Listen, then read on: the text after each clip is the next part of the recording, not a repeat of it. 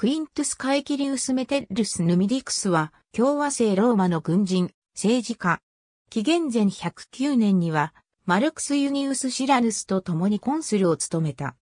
ユグルタ戦争ではコンスルとしてヌミディアで戦い、直接的にユグルタ戦争の終結には寄与しなかったが後にヌミディクスの尊称を受けた。カエキリウス・メテルス家 家系図 有力プレブスのカエキリウス・メテルス家出身。フーゴー・グローティウスの追放が描かれた絵。中央下にヌミディクスの亡命についての六行詩がある。若い頃はアテネでカルネアデスの下で学んだ。ローマでは教養のある優れた雄弁家として名を馳せた。紀元前109年にはコンスルとして軍を率い、ヌミディアにおいてユグルタと戦った。戦いは長期化し、配下の武将ガイウス・マリウスのと対立が顕在化した。紀元前108年にマリウスはローマへ戻り、紀元前108年のコンスルに立候補して当選した。後はプロコンスルとしてユグルタとの戦争を継続した。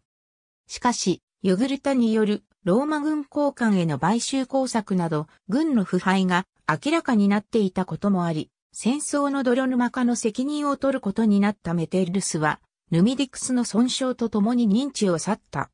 ユグルタ戦争の終結後、メテッルスは、罰族派の指導者となり、民衆派のリーダーとなったマリウスの改革に抵抗した。マリウスの軍政改革にも強く反対している。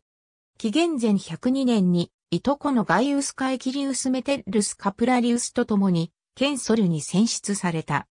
在任時にはマリウス派の一人、ルキウス・アップレウス・サトゥルニヌスを元老院から追放しようとしたが、不成功に終わった。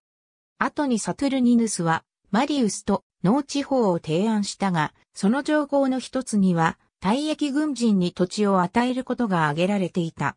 メテルスはこれに反対し、マリウスが元老院議員に賛意を示す宣誓を行うよう求めた時も最後まで拒否した。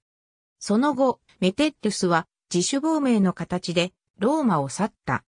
紀元前99年、メテッルスは息子のクイントゥス・カエキリウス・メテルスピウスの努力の甲斐あってローマに戻ってきた。息子、メテルスの損傷ピウスはこれを受けている。